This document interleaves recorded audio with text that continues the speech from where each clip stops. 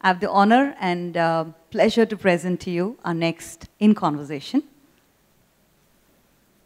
Crowned as the ninth most beautiful woman of the millennium, her debut movie is in Tamil cinemas. Wow. She's an Indian Canadian actress, model, TV host, philanthropist, and a social activist.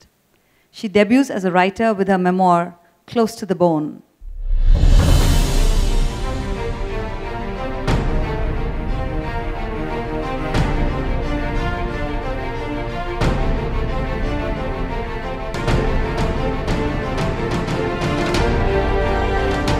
Hello, good afternoon, everybody. I'm really, hey, good afternoon. Vanakkam. I am really, really, truly extraordinarily thrilled to be here at the Radiant Wellness Conclave because, you know, those two words are, first of all, very interesting to me. Renuka, we didn't get a chance. We've been chatting and we've been chatting about my book and emotional wellness and all sorts of wellness, but radiant and wellness, to put those two words together, I think, you know, creates a very strong and profound mantra, basically, radiant wellness. Because wellness, I think, as we all know, is an inside job. It's an inside job, but if we can radiate wellness and actually share it with others, and you know create this sort of trip like this uh, trickle down effect or this ripple effect i think that we actually have a shot at making the world better because god knows we need to make the world a little bit better Thank you, Lisa, for having me over. i'm sorry renuka I, I, I, it's my habit I'm really sorry. I just went, plopped myself down, and just started chatting because I feel like I'm sitting with an old friend. But yes, I wanted to thank you for calling me for this. so I have to say this though. Okay. One of India's first supermodels, actor, cancer survivor, mother of twins through surrogacy, woman of no fixed address, and now an author. Lisa, it's so delightful to have you. and I'm so delighted to be here too. Thank you. Shall we start again? No, okay. We'll, we'll just get right into it now, Absolutely. I think. so, I read your book. In fact, I read it twice. I read it once very slowly, and then over the last two days, I speed read it. So, your mother, a strict disciplinarian, the blue eyed, blonde, polished lady, was a doer, and you and your father were the dreamers. So, I'm just going to start taking you through your childhood. So, tell us about that okay, I feel like I should close my eyes now and lie down as you take me through my childhood. But um, yes, I, I first of all, you know, it's not so much about my book, although I'm very, very honored and gratified, you know, that, that you've read it. You know, as a, as a debut writer, I'm slightly thrilled that anyone wants to read my book. You know, it's a very sensitive thing, and to be honest, it's what I've always wanted to do with my life. My life took a very interesting detour, but I feel that I'm now aligned with my mission. But one of the reasons why I also wrote the book is that I do believe uh, it's not an original saying that we all have a public life, we have a private life, and we have a secret life. And I think that for a lot of my life, um, they were all running parallel to each other, but they were never meeting all these different lives that I was leading. And essentially, that creates kind of a either a conflict or uh, you know, uh, kind of a broken space inside. And it always came back to identity as well. And identity, I think you might argue, can be connected with emotional wellness because for our emotions to stabilize and rather fluctuate, sort of like the weather, as it were, not the weather in Chennai maybe, but the weather in, let's say, Canada, where, you know, it changes from day to day. Um, in order to do that, I mean, you need to have a sense of, I think, stability, knowing of yourself, and a sense of home. And for me, being of mixed blood, first of all, my father's a Bengali, my mother is Polish, as you pointed out. And I was born in Canada, and yet always felt very attracted to India and spent a lot of my youth in, in uh, Calcutta. Uh, it was very confusing, you know, and this was the pre globalized era, remember. So, not having a clearly defined sense of home, you know, you might argue, led to this kind of a seeking nature. It fed my seeking nature and led me around the world. And the reason I'm sort of connecting that with emotions is because, again, on one hand, I think we always say, wear your heart on your sleeve, right? We have all these sayings, wear your heart on your sleeve. And I've certainly done that. Follow your heart. And I've certainly done that. But there's also something to be said for also understanding your emotions and perhaps having a little bit of space between yourself and your emotions. Because otherwise, if we are constantly you know, attached to these fluctuating journeys and the places that our emotions take us, that also causes, uh, I think, a lot of unhappiness and suffering in life as well. So it's an interesting, it's been an interesting journey for me and enable for me to reconcile myself, to understand myself, and to share my story in a way to finally take back the power and the narrative. Because I think also what ends up happening uh, since my career began very serendipitously. Even though I was born and brought up in Toronto, I obviously ended up in India at the age of 16. And believe me, it was an accident in every way. And a lot of people don't understand that. They say, well, you know, when I, when I explain to people, for instance, that um, I'm an introvert, which is, of course, why I became an actress, because that's what introverts do, right? Who try to avoid people. So you see, my life has been sort of this interesting juxtaposition, but I am an introvert by nature. And um, so when people say, well, how did you end up in this business? It's a very long story, so I thought I should write about it instead. But it, it's, um, led to me being labeled a certain way. And I think that this is another tendency that we have to do.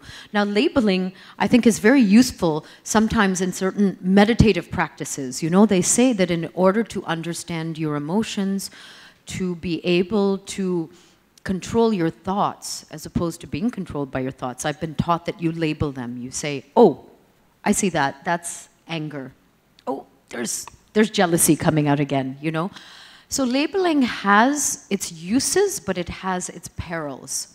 And I think in today's world where we tend to box people, and not just today, but I've been labeled ever since I started. You know, I was labeled as a model. I was labeled as uh, a sex symbol when I started out. Um, I was labeled as glamorous, when actually, in reality, that had nothing to do with who I was. And so this journey to come back to myself is not, is not just about seeking validation from the world and trying to say, listen, here's who I am, but also maybe accepting myself, all the different aspects of myself, because I have always known that I have so much more to offer. And at the same time, the world tends to, as I said, label you, box you, and decide what you're capable of when I knew that I was capable of much more than what was expected of me. And that's one of the reasons why I wrote my book. Lisa, you were catapulted into stardom, you know, as you'd mentioned, at a very young age of 16. You came to Mumbai, and then uh, Maureen Wadia happened, and then you suddenly found yourself in the cover of Gladrags with that lovely picture of your sunset picture. You're tired, you're all ready to wrap up, and at the last shot, you just give this striking pose, which becomes uh, the headlines, I mean, becomes a cover of the Glad. But however, when this was happening here, it was very paradoxical because uh, on the other side of the world, your mother had met with a near fatal accident. Uh, you were to be on that seat. Uh, there was that feeling of guilt that uh, there was a feeling that you could have been there. You couldn't face your mom you had to take care of her. You had no idea what was happening in uh, the other side of the world. So it was here where India was drooling over this supermodel on the covers of Glad Rag. There, there was a 16-year-old who was down in the dumps, uh, totally different than what was being perceived. Very paradoxical, don't you think? extremely paradoxical um, on a level that I think I'm still trying to process, but uh, obviously I've done my best processing. However, you know, I mean, the, the funny thing, two things about tragedy or trauma, of course, is that number one, trauma, things like loss and grief and any sort of trauma, it doesn't actually go away, you know? We have a lot of managing mechanisms, and at 16 years old, instead of actually seeking out help, seeking out counseling, stopping trying to process this terrible thing I did, I suddenly had this huge career in India, and what did I do? And what do we, a lot of us do as a coping mechanism, is we distract ourselves. We stay busy. We immerse ourselves in work. And actually, that's what I mean. My career became an excuse to sidestep this trauma in my life. But the funny thing, of course, about trauma and difficult emotions is they are embedded in our body they don't actually go away. And the more we try to ignore them, the more they embed themselves in our cells, in our, you know, in our psyche, in our organs, and in these places in our body. That's the one funny thing about trauma. The other interesting thing about trauma that I have discovered today at 47 is it can sometimes be a great accelerator. And let me explain that. It can be a great accelerator of personal growth. I certainly don't wish any of these sort of overnight kind of uh, tragedies or difficult circumstances on anyone, but let's face it, the nature of life is that difficult things will happen. And all we have in our control is how do we meet these circumstances and how do we control our reaction. So for me, becoming overnight, like an overnight sensation in India at 16, while simultaneously on the other side of the planet, myself, my mother, and my father were involved in a very serious car accident, created almost a split screen existence, you know. On one hand, there we go, there's my private life. It was the lowest, darkest period of my life. And on the other hand, on the other side of the planet, there I was experiencing what we as a society define as success, right? So it's the recognition and it's the opportunities and it's the money and it's attention and all these kind of um, things that we hanker after or we're taught to hanker after. So even though it was one of the most difficult periods of my life, it actually taught me something very important very quickly. And that is that all of these things, fame, money, status, do not solve the questions of the soul and will not actually solve any of my emotional problems. And actually, at the end of it, did not make me happy at all. So it created this very interesting kind of, as I said, two narratives were going on in my life. On the surface of it, I was a celebrated model and leading this glamorous life, and then I would, you know, go home to my apartment and be alone and be very, very deeply lonely and very, very, let's say, traumatized. I was in a very dark place emotionally. I was also at the same time suffering from an eating disorder because, like many young women, I was very vulnerable, I think, to the perceptions of society about what is beauty. And again, it was all because I had not found that elusive self, that grounding inside me, and that sense of self. My cues were coming from outside myself, they were external cues. You are your grades, you are your social status, you are your beauty and appearance and things like that. And we all know that that's all going to change, that's going to fluctuate. And that will also ultimately be taken away one day. So, even though it was a very, very strong message, it was an important message at a very young age that set me on a path of trying to understand okay, happiness is not this, therefore, what is happiness? What is lasting happiness, and where can I find it? Exactly, because the second paradoxical issue which I felt from, which I got from your book was exactly this, uh, where you are perceived as this very beautiful, I won't say creature, but very beautiful human being, a very uh, pretty face, a lovely body. But then Which I'd also like to point out, I didn't feel myself. Exactly, but you, but inwardly you were feeling that you were not good enough, you had a round face, you, you were ugly, you were, uh, you know, uh, you were body shaming yourself. So again, there was a paradoxical situation there where the world perceived you as being so beautiful and aspiring to uh, be the way you were, and here you were, on the other hand, completely so different than what. So again, a very big paradoxy, you know. I mean, I think this was the biggest message in life that that's what we see and what we pursue, which is definitely not that. I think we have to tune into people in front of us sometimes because appearance doesn't necessarily um, hint at what is actually going on inside. And paradoxical is a great way of describing a lot of my life, you know. Again, these, these sort of twin uh, narratives going on. And it is true, that was another great lesson in my life and another one of the reasons why I wrote this book particularly in this age of celebrity culture that we're, that we're inhabiting right now, where somehow we feel that if you are photographed, if you're on a red carpet, if you're on the cover of a magazine, somehow your life is fixed. It's great. And somehow you are immune to a lot of the other normal pains and sorrows and ups and downs that everyone else goes through. And I think we have to understand that that is absolutely not the case. If anything, that can actually help to mask and enable a lot of other dysfunctional behavior.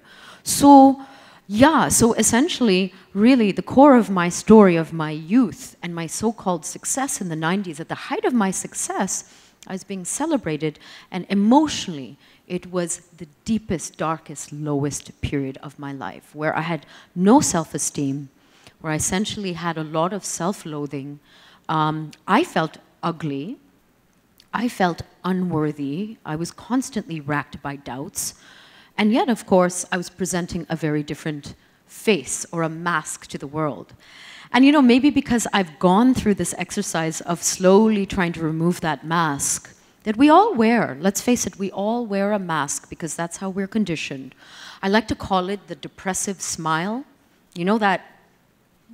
How are you? Oh, I'm great. I'm good. How are you? fantastic. But you know, somewhere, I think as human beings, we can read through that. We can read each other. And, you know, I think that in the pursuit of emotional wellness, of wellness of any sort, we have to allow ourselves to start removing those masks and be more vulnerable and actually connect on that deeper level. Connect, you know, from human being, from one flawed, or you might say perfectly imperfect human being to another perfectly imperfect human being, instead of trying to or falling prey to what I call the pathology of perfection. That is, I think, um, dominating our culture today and is unrealistic and is at the core of a lot of mental illness, you know, emotional wellness and a lot of dysfunction in the world today. Absolutely. Fast forward to 2009. Uh, Lisa, you um, had this feeling of extreme fatigue, tiredness, and uh, always relating that to maybe your bulimia or maybe your bad work, I mean your bad lifestyle. And then uh, the doctor does, runs a couple of tests and he sits across the table and tells you that you've got blood cancer, You've got multiple myeloma. And your reaction is, doctor, you look pale, can I give you some water? Yeah, I'm a little, I'm a little bit of a freak, to be honest, on one level. But um, I, I, I, think I'd like to, Renuka, if it's okay, maybe take a few steps back or take, go back in time a few months before I was diagnosed that might help to put a, sort of a context, put my reaction to getting this diagnosis, being diagnosed with a basically, essentially a fatal and incurable blood disease and why I reacted with a sort of smile at the doctor. And, you know, I saw the beads of sweat on his forehead and I looked at him and I said, Doc, you look really unwell. Would you like some water? Um, the reason for that is not because I have, you know, uh, I'm super brave, I'm superhuman. Um, possibly I was a little bit in denial and shock, but essentially, I would say about eight months before I was diagnosed, my mother passed.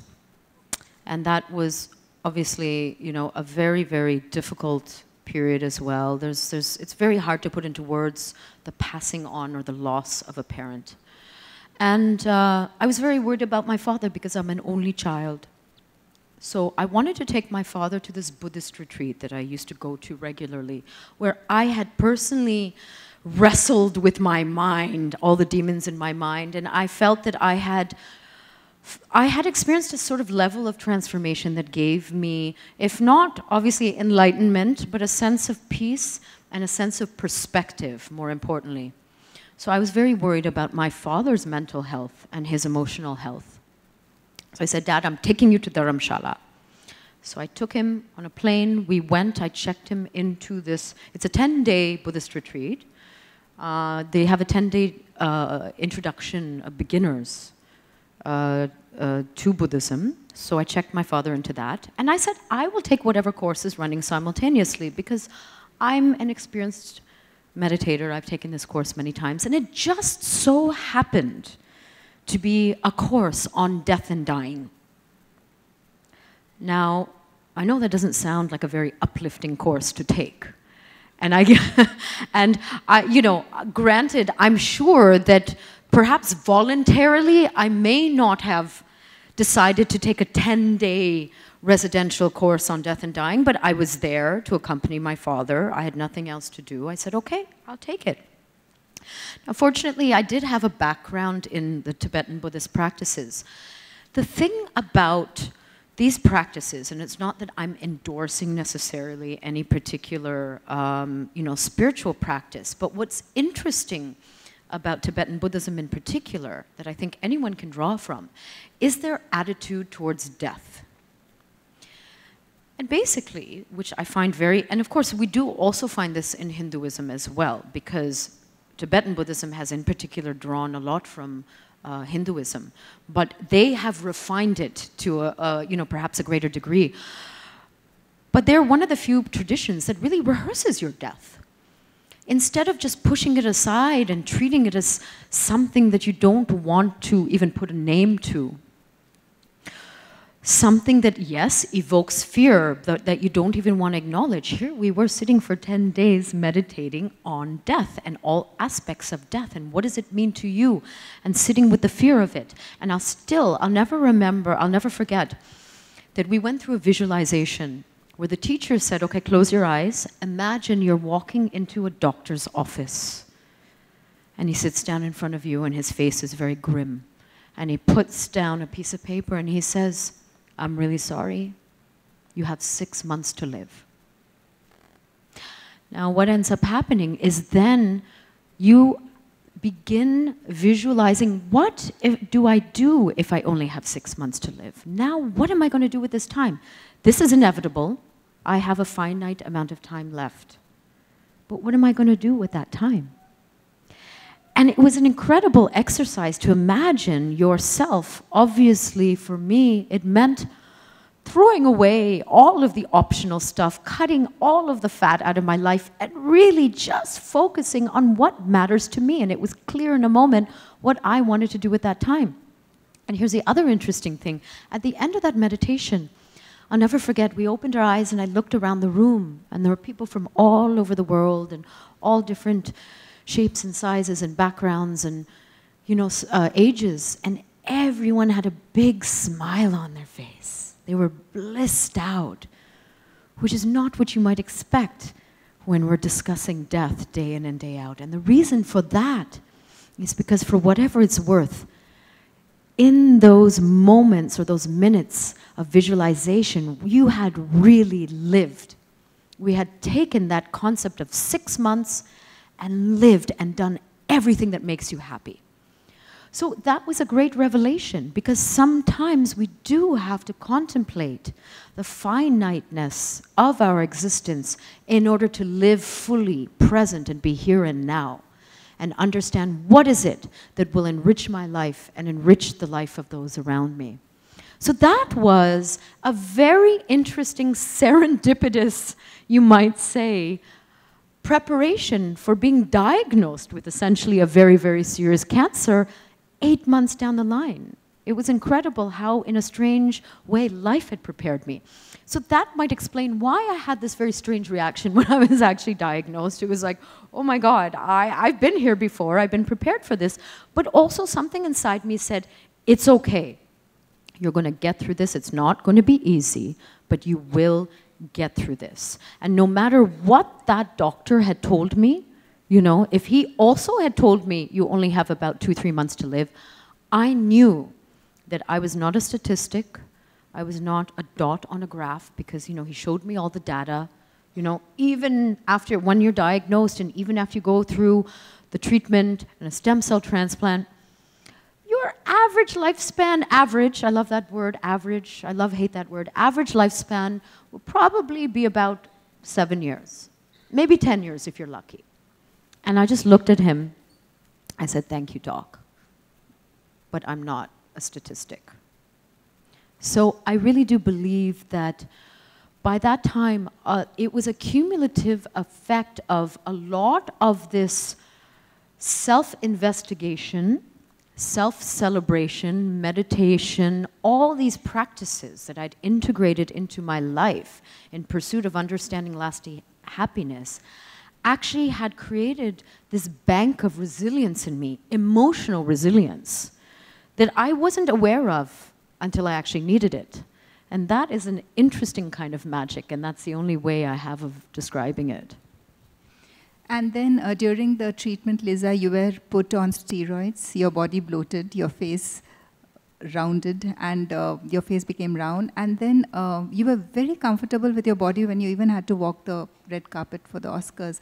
And I think that was a rebirth of you. And you realized that, oh my God, I've been shaming myself all these years and I just feel so beautiful. There was an, an acceptance. So was it a, like a revelation, a rebirth, and then you finally accepted that this is who I am and this is what I am?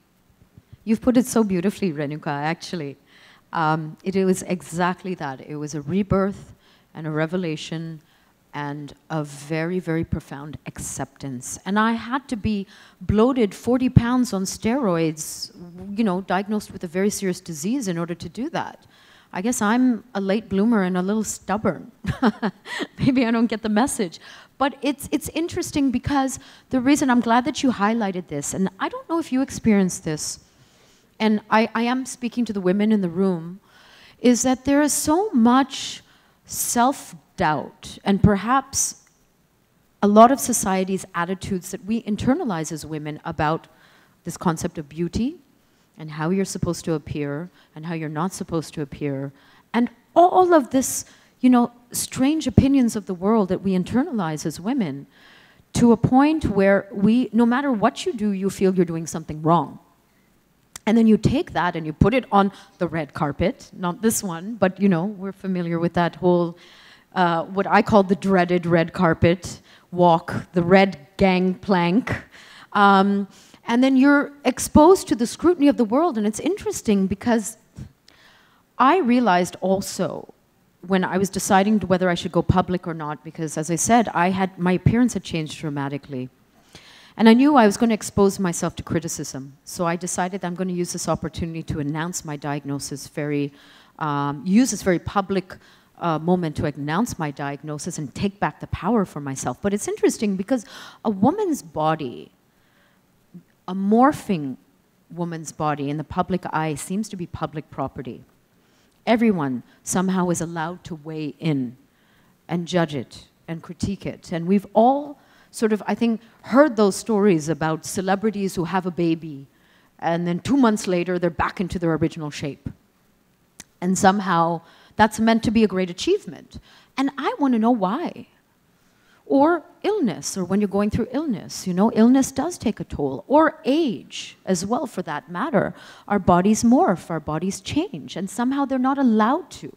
We are now going through an era in society and again, fed by this celebrity culture and fed by social media, where somehow a woman's body is not allowed to express itself. All the natural stages. We're meant to be told, you know, you should age gracefully, you should age this way, you should not look your age, you should, you know, so many should, should, should. So for me, that was an incredible revelation to stand there and say, this is who I am. I know that I'm changing physically, but it's because I'm battling a very serious disease and I'm proud of who I am. And I'm here to tell you that, you know, I'm going to beat this. And maybe with your help and your support, I'd like to ask for you to support me through this time. And it was the most unself-conscious I've ever been, you know, 40 pounds overweight.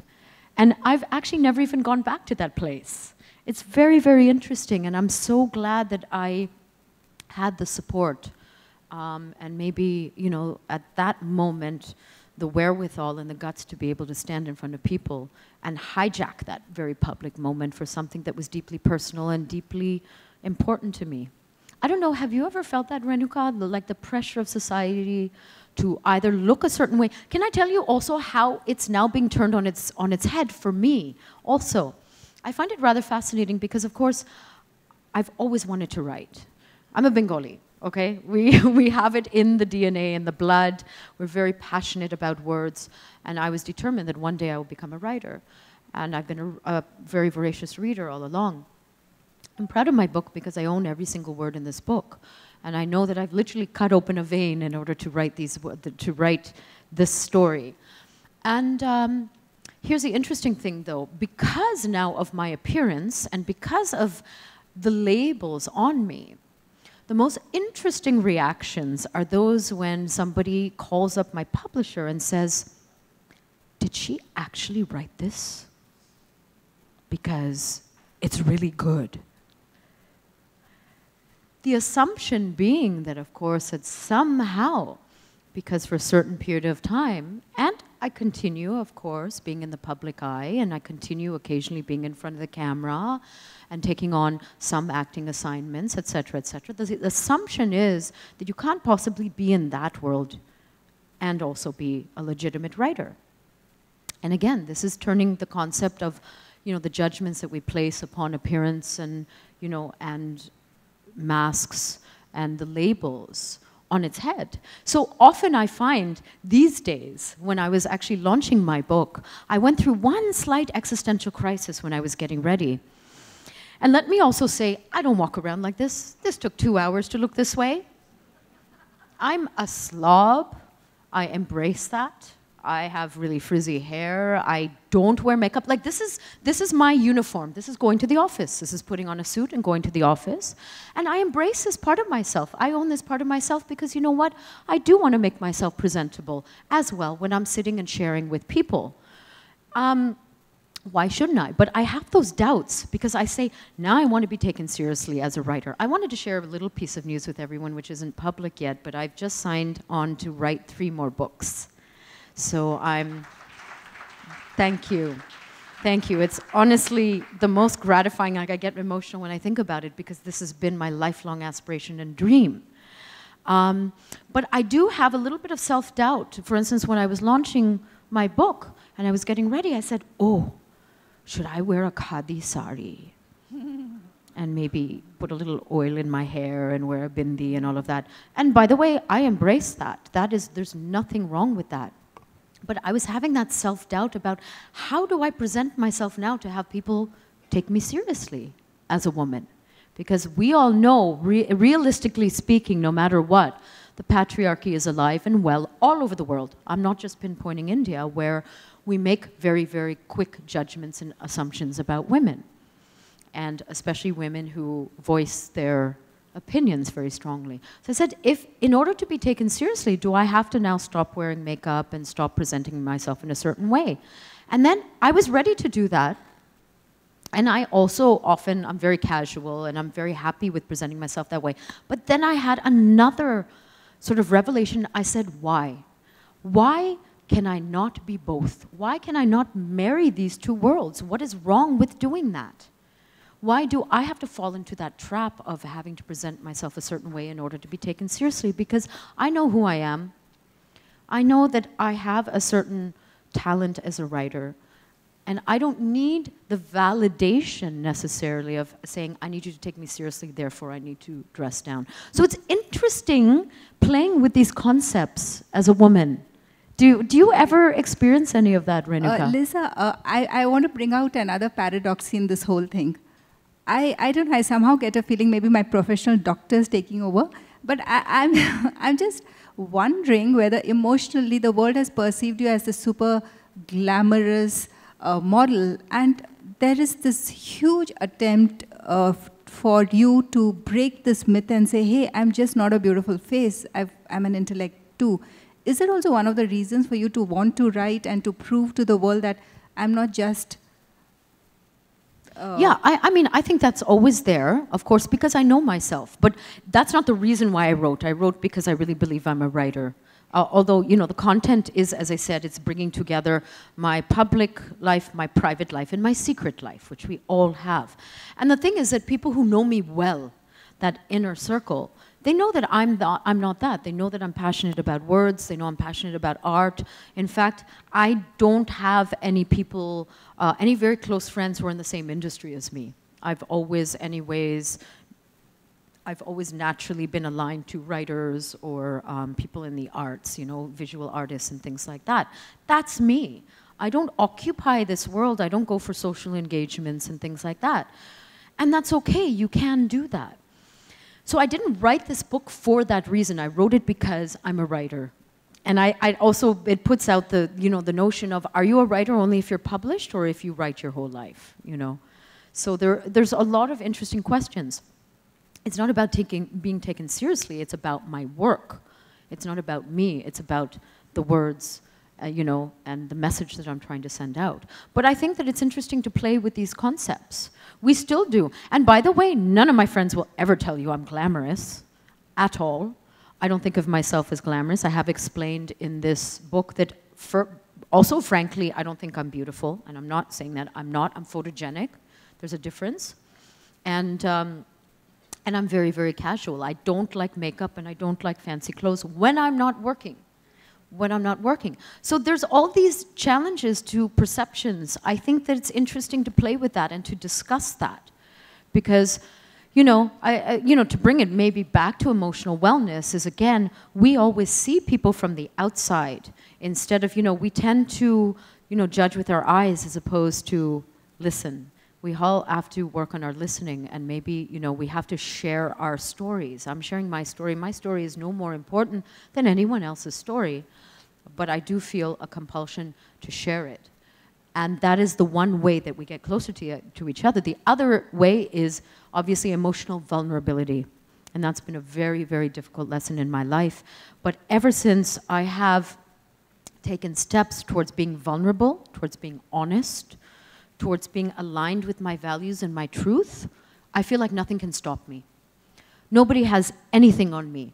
And I'll, I'll show, I'll, here's an, another interesting thing that I wanted to point out. Maybe it's a dysfunction in society today, but you know, my book is a memoir, and I've had some people come up to me and say, How did you have the guts to be so honest? Very candid. Very candid. But I would say, how can you not be honest if you're writing a memoir? You know, I would almost turn it on its head. I would say, why is it that we're not honest? Why is that, you know, are we living in a society where we hide so much that vulnerability and honesty is something that we highlight in someone because it's not something that we come across every day? I feel that that's something interesting to think about because I know in my personal journey, emotional honesty, emotional nakedness, emotional vulnerability is the source of my strength today. You know, they say that, you know, for me, there is nothing. The truth is is the truth, and nothing can wound me. It's only when we keep things in the shadows, when we hide things, when we keep things secretive, that they have a power over us, when we bring them into the light. Those aspects of ourself, you know, whether they're things we are supposedly ashamed of, or mistakes that we've made, or flaws or failures, they can't have a power over you. They can only make you better.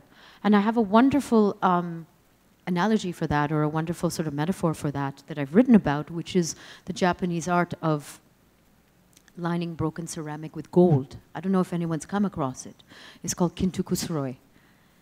And imagine just this transcendent way of taking a piece of pottery that is broken, and when you line that crack, that wound with gold, you actually make the object more beautiful for having been broken. And there is a place, an important place in our society, in our dialogue today, to say there is a place for better than new. for experience, for celebrating our wounds and our humanness with each other and exposing them to each other. And not just that, but lining them with gold, because they are what make us. Absolutely. Um, are you ready for some rapid fire, Lisa? We've been speaking. Okay. Let's go for it. For it? Okay. Right. Because I was, I was getting very, very emotionally, you know, uh, listening to your story. I said, no, I think I have to lighten the mood. This was going really deep, but it was so thoughtful and it was very uh, thought provocating because uh, you know hearing you and seeing you as a person um, and the pain that you've gone through you know uh, just wanting to put it in the book and maybe wanting to inspire wanting to uh, reach out and tell people that you know you don't have to be scared you can go through anything i've gone through it and i've overcome but then that's that's that's i think very brave and i think that's very inspiring so i'm sure that your other books are also going to you know inspire i'm Thank so happy you. Thank you. this. But let's not also forget that one of my coping mechanisms is also humor, but a really, really bad form of humor. Like I'm just a complete nerd. I tell really bad jokes, so I won't subject anyone here to that. But you know, it makes me happy. It makes me smile, and that's what matters at the end of the day. That's also what got me through a lot of my cancer. Okay, now there's a time check. Okay, Lisa, Okay. I'm not going to let you talk more than a line. I know. Basically, you're saying I've been talking too much. Too much. Sorry. So it's just. you should uh, just cut me off.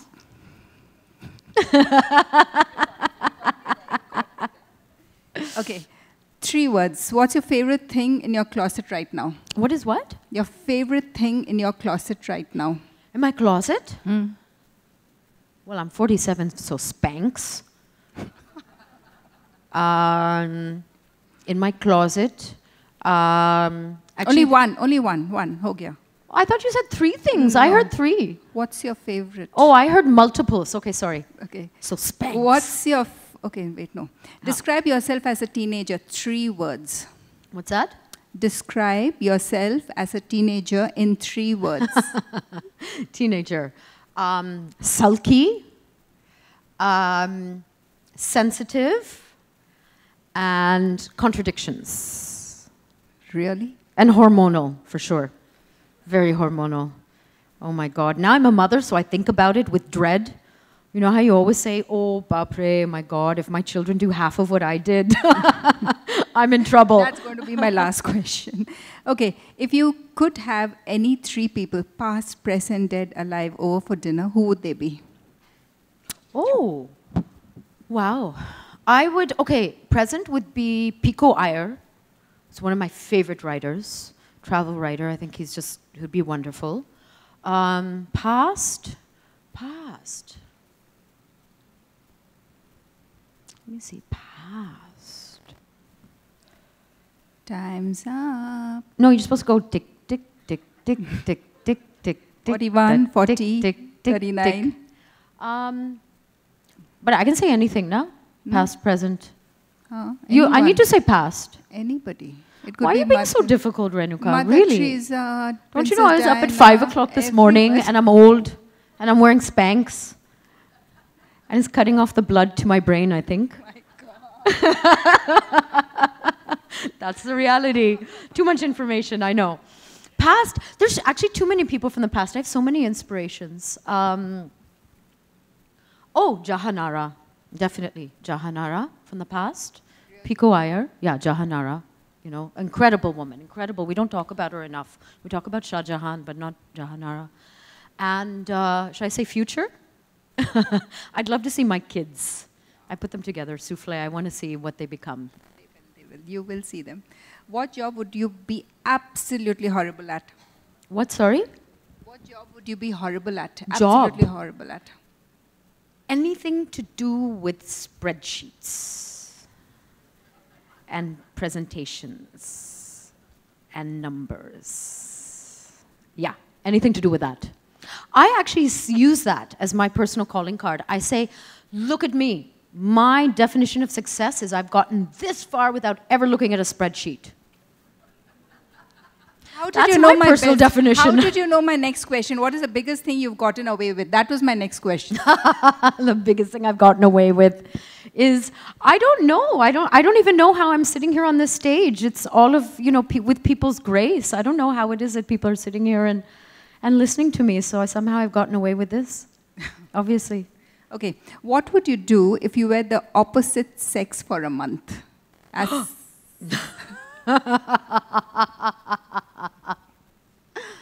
Oh my God.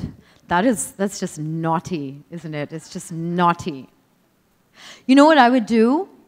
Is I would, I would, you know, I'd make sure that I was in a position of power and I would rewrite the Constitution so that all, so that our next PM has to be a woman. That's it, man. Or assassinate someone. I'm not going to say who. I don't want to get into trouble. I'm not, no one here in this country, no one here in this country, uh, you know. we shall talk about that later. What is the stupidest thing you have ever done? The stupidest thing. Stupidest I've written about all the stupid things that I've done in this book. There's many of them. Um, I don't have any regrets, though, let me say that. I think the stupidest thing that I have done is allow the world to tell me who I am when I was young. That's the stupidest thing that I've done. I thought you were going to say you hand in sand over Shekhar Kapur. Oh, yes, I did fling a big handful of sand in Shekhar Kapur's face in Juhu Beach, but that, hey, we're still friends, so that's okay. Okay, so uh, my second last question What's the last thing you Googled today? Sorry? Last thing you Googled today. What's the last thing I Googled? Emotions. So I said, I'm, I'm speaking on emotional wellness. I wanted to see what the definition of emotions are. Would you like to know? Because I wrote it down. Grace Emotions. Well, I mean, we are. Let's, let's pinpoint what it is. We think we know what it is, but I thought it was quite interesting because I do speak on this quite a lot. Emotions are states of feeling that result in physical and psychological changes that influence behaviors. There you go, straight from Google. Thank you. But what I, what I thought about that that's interesting is that the emotions influence not just our psychological but physical and not just behaviors but us physically and that is why i think emotional wellness is so essential because our body also takes a cue from our emotions remember that i don't think that it's such a straightforward thing that you can separate out physical illness from emotional illness either Absolutely. And my last, last question, I've been actually saving this question. And I'm going to look at your face when I ask you. You have always rebelled against a convention, against your mom, against everything. Now you have 14 month old twins. How would you handle it if they followed their mama's footsteps, karma hitting back big time? It's so bad. I really do think about this already. And they're already very strong personalities. And of course, I want to nurture out there and do everything, but as long as mama is chaperoning. It's okay. You can go to Europe, but mama will be right behind carrying your bag. so, yeah, I mean, it is, it is karma. I hope you never know until you become a mother, actually. You know, so I understand my mother so much better today. So that's a wonderful side benefit. But uh, in all seriousness, I do hope that my kids are strong, independent, and uh, hopefully, you know, influencers for good in this world. That's the best that we can do for our girls and our children today is teach them, teach them well. Thank you, Lisa. I think she deserve, deserves a huge round of applause. It's truly been such a lovely evening with you, Lisa. And the time's just, we are over, I mean, we've gone up by a couple of minutes. Uh, Yeah, I told you I'm not good with numbers. So you never, never put numbers in front of me. I won't stick to it. I guarantee it. I'll have to defy it. That's a defiant part of me. thanks. Thank Lisa. you, Renuka. This was amazing, and you're just amazing, and you made it so warm and lovely. Were we going to ask uh, for like a few questions, or if there's anyone curious about anything, or you want to get me off the stage? I'm okay Um, either way. No, Lisa, we'll have to get you off stage because uh, we, we uh, my, my audience have been sitting from 10, but then I'm not rude. Uh, I've got the audience to, uh, I mean, they're going to write questions for you. Okay. And yeah, uh, we have a very important panel coming after this. And uh, so, um, Basically, I'll get off the stage, and you guys all get up and stretch now. We should do like a group stretch. done. Honestly, if anyone wants to ask Lisa questions, just scribble it out and she will answer uh, your questions. I mean, your answers will be sent But very seriously, I just wanted to thank everyone for your kind attention. You've been really wonderful, and I do understand you've, you know, that you've, you've been sitting here for a long time. So I'm very, very uh, humbled that you deigned to sit even longer. So thank you so much. And please go have coffee, tea, stretch, chat. Stretch. Stretching is very important. Thank you.